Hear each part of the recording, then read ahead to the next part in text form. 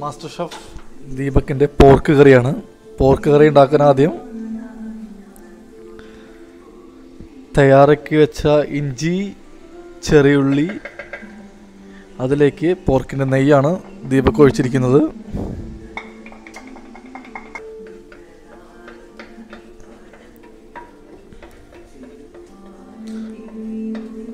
ഒരു golden brown കളറിലേക്ക് അത് മാറിയിരിക്കുന്നുണ്ട്. അടി പിടിക്കാതെ ദീപക് നന്നായി ഇളക്കുന്നുണ്ട് അടുത്തതായി മാസ്റ്റർ ഷെഫ് മസാല ചൂടാക്കുകയാണ്. ചൂടാക്കുന്നത് പ്രത്യേകം ദീപക്കിന്റെ സ്വന്തം കറിക്കൂട്ടായ ഗരം മസാല മുളക് പൊടി മല്ലിപ്പൊടി കുരുമുളക് പൊടി. എല്ലാം സെപ്പറേറ്റ് പാത്രത്തിൽ ചൂടാക്കിയാണ് ദീപക്കിന്റെ സ്വന്തം കറിക്കൂട്ട് തയ്യാറാക്കുന്നത്.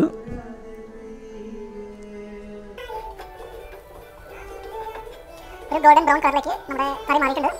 ഒരു ചെറിയ ചൂടാണ് ഇതിന് വേണമെന്നാണ് ഇവിടെ പറയുന്നത്.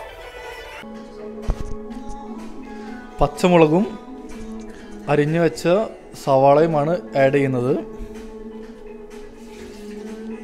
ഒരു വലിയ പത്ത് പച്ചമുളക് നീളത്തിൽ മുറിച്ചത് ചെറിയ സവാളയും ആഡ് ചെയ്ത് മസാലക്കൂട്ട് നന്നായി ഇളക്കുക.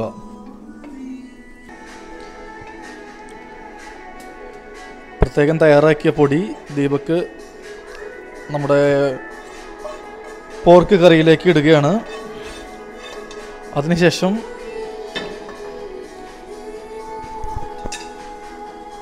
നന്നായി ഇളക്കി കൊടുക്കുന്നുണ്ട് ദീപക്ക് മസൽ പിടിച്ച് ഇളക്കി കഴിഞ്ഞാൽ നല്ല ടേസ്റ്റ് കറിക്ക് ഉണ്ടാകുമെന്നാണ് പറയുന്നത്. മസൽ പിടിച്ച് സ്വന്തമായി തന്നെ ഇളക്കി മറിക്കുകയാണ്.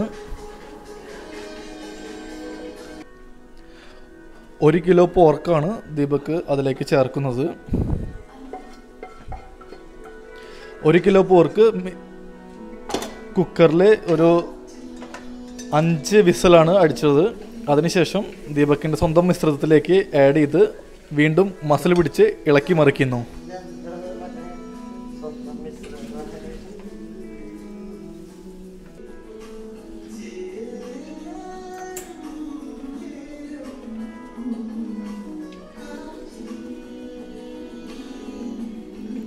സ്വന്തമായി ഇളക്കി മറിച്ച് പോർക്കിലേക്ക് കുറച്ചുകൂടി സവാള ആഡ് ചെയ്യുന്നുണ്ട്.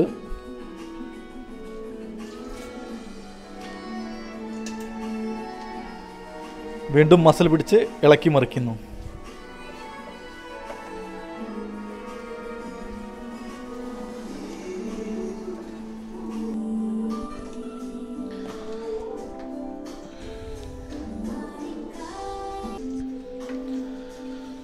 ഒരു അഞ്ച് മിനിറ്റ് കൂടി അടച്ചു വെച്ച് വേവിച്ച ശേഷം പോർക്കിലേക്ക് കുറച്ച് വേപ്പില കൂട്ടി ഗാർണിഷ് ചെയ്തെടുക്കുകയാണ്.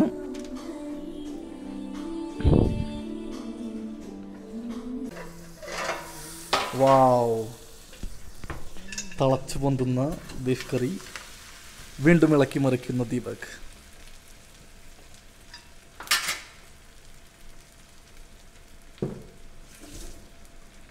നല്ല മണമുള്ള ഫൈനൽ സ്റ്റേജിലാണ് പോർക്ക് കറി നല്ല തിളച്ച് മണം വരുന്ന പോർക്ക് കറി ഉണ്ടാക്കുന്നത് നമ്മൾക്കായി പോർക്ക് കറി ഇത്ര നേരം ഉണ്ടാക്കിയത്. സ്വന്തമായി പോർക്ക് കറി ഉണ്ടാക്കി സ്വന്തം കണ്ണ് തള്ളിപ്പോയ അൽ ദീപക് ദീപക് ചിരിക്കടാ. ഏ മാസ്റ്റർ ഷെഫ് അൽ ദീപക്